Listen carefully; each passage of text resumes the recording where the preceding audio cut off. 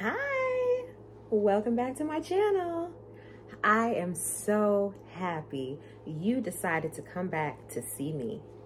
If this is your first time joining, welcome. I am your empath earth angel, and I was sent by the Lord down to earth to deliver a very special message to all of the chosen ones. You can forgive chosen ones, but don't ever forget.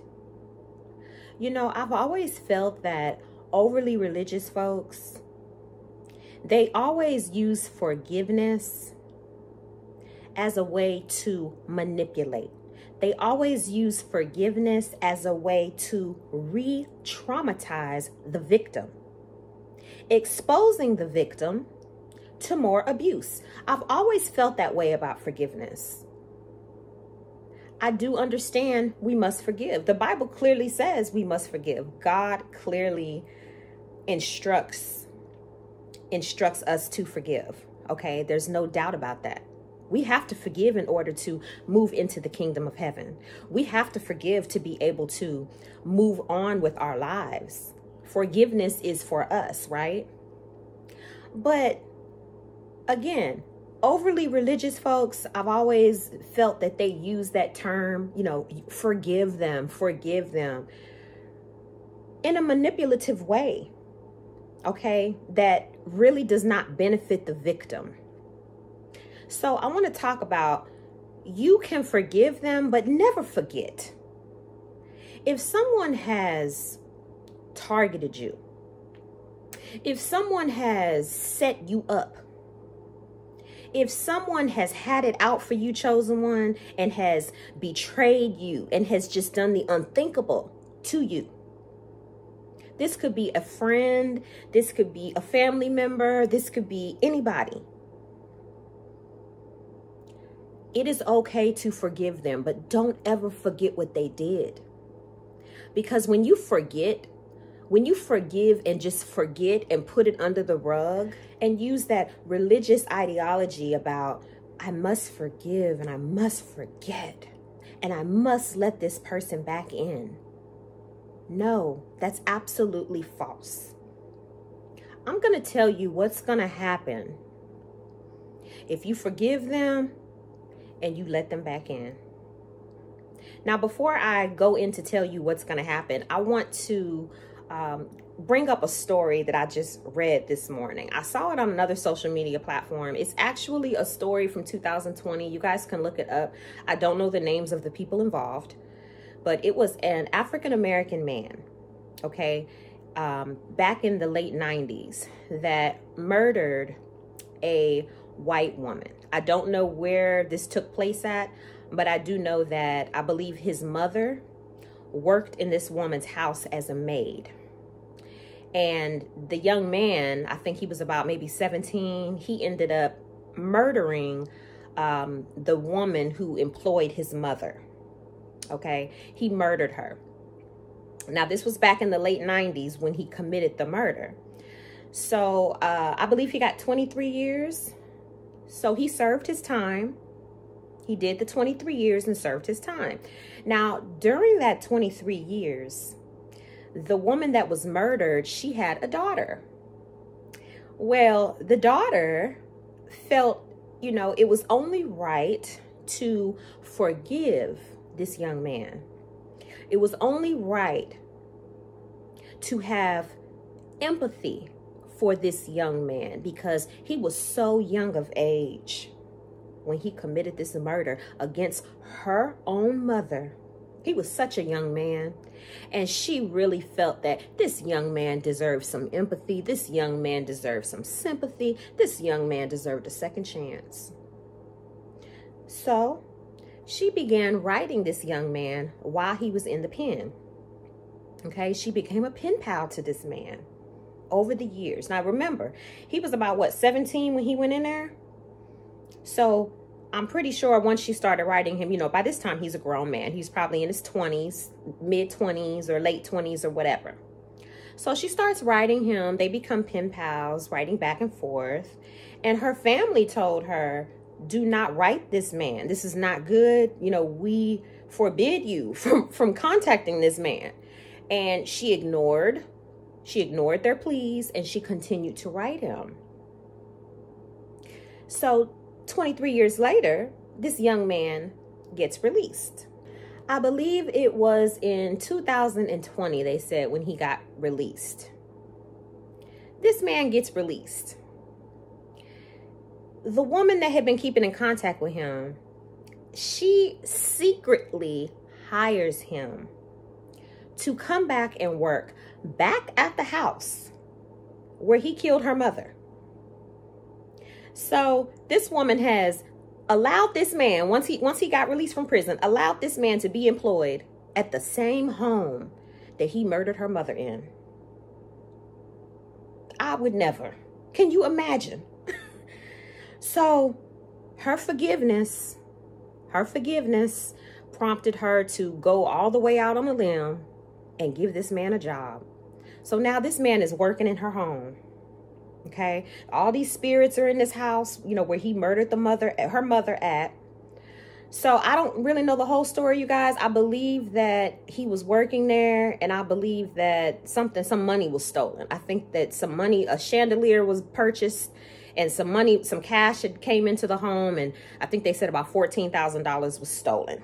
So he stole them. Well, she believed that he stole the money, which he probably did. And um, she went ahead and fired him. Do you know that this man now killed the daughter? So not only did this man kill the mother in this house, but this man has now come back to the murder scene and has killed the daughter. Rolled the daughter's body up in a rug. When they found the daughter, she was wrapped up in a rug on the top of the stairs. Now, I don't know if this daughter was a chosen one. I, I, I don't know. but what I do know is that she had some of the qualities that a lot of us chosen ones have, which is forgiveness. Okay. We, for some reason, us chosen ones, we, we forgive people a little bit more easier than the next. We do. We for, we forgive people and a lot of times we give them a second chance. Some of us may even give them a third chance, but trust, I bet most of us have learned our lesson on that, right? but most of us we do we do we do give them a second chance. So, we do the same thing that this woman did. This woman gave this man a second chance. But guess what? She gave him a second chance to murder her. That's what she did. She created her own death. Who would have known? Did she know that she was creating her own future death when she began writing this man? This man was probably uh, having fairy tales and fantasizing fantasizing about how he was going to murder her one day. So I told you guys this story because I when I when I read the story, I really I saw the chosen ones in that entire story. And I was like, you know what? That's that's our life. Like that's what happens with us. When we forgive and we let them back in, they murder us. That is exactly what they do to the chosen ones. They murder us. Now, they might not murder us literally, but you know what? I bet you there are some stories around the world of chosen ones that have gotten murdered by people that they forgave. I don't have those stories in front of me, but my point is they murder us mentally, they murder us psychologically. And we are doing that to ourselves because we are giving them an opportunity to come back in and get close to us again to do more damage. I've heard a term, I think it came from Maya Angelou, if I'm not mistaken. When somebody shows you who they are, believe them. I had to learn this the hard way. I have fallen into that forgiveness trap as well. Forgiving people that have done me so wrong and giving them a second chance. Chosen ones, I can attest and I am here to tell you it's not going to get better. It's going to get worse when you let them back in. They're going to be scheming the whole time of how they can take you down even worse than what they did the first time, of how they can minimize your confidence, of how they can hurt you, of how they can damage you, of how they can put you to an end. Finally, once and for all. That is their goal. So it is okay to forgive, but never, never let them back in or at least never let them back in the way that they were once back in. Because I know it's difficult. You know, when we have family, it's difficult for us, some of us, especially if we live directly with them or, you know, we just have a lot of close necessary interactions with them it's difficult to just cut them off 100% but you can cut them off in other ways. You don't have to allow everyone to have uh, such accessible access to you and accessible access to your life and what you have going on they don't have to know all that.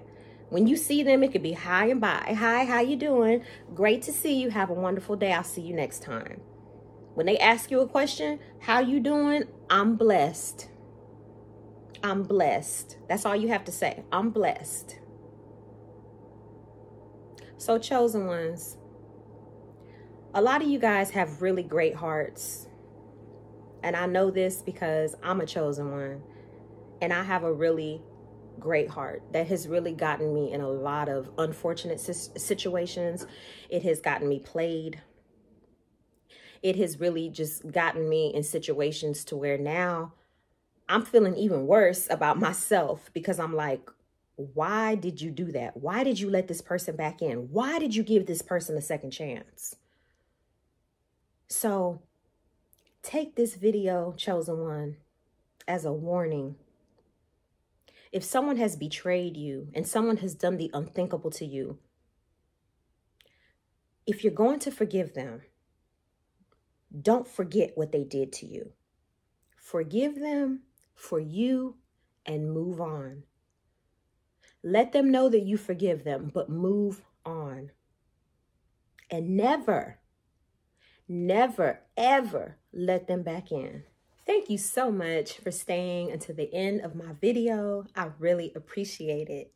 If my message resonated with you, hit that subscribe button. Why not? Life is too short. well, until next time, you guys, if it is in God's will for me to make another video, I wanted to let you know that God loves you, Jesus loves you, the Holy Spirit loves you, the universe loves you and your empath, earth angel, I always love you.